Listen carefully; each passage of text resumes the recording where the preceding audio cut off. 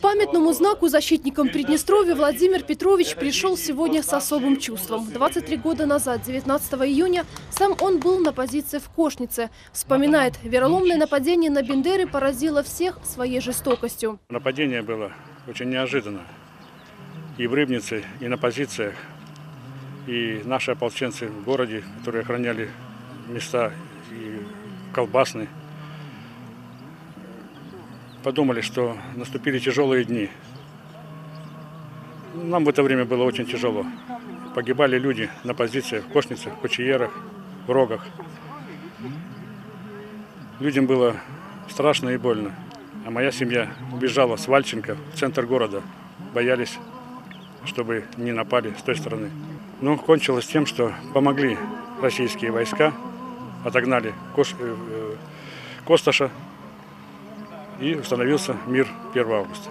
За время карательной операции в Бендеры вошли колонны бронетехники. Бои проходили на улицах Тихого города. Это была самая кровавая акция молдавских националистов.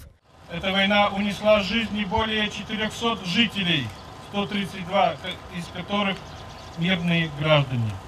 Было ранено более полутора тысяч жителей, 13 из которых дети. Это было большой трагедией для нашего государства, но мы выстояли. Навсегда останется в нашей памяти подвиг тех людей, которые, несмотря на свою национальность, вероисповедание, на свою профессию, стали на защиту своего государства, стали на защиту своей Родины за право жить на этой земле, говорить на своем языке. Сегодня к памятному знаку защитникам Приднестровья пришли сотни рыбничан. Они почтили погибших минутой молчания, а на каменные плиты легли цветы. Ольга Симаченко, Татьяна Семенюк, Алексей Минченко. Первый Приднестровский телеканал.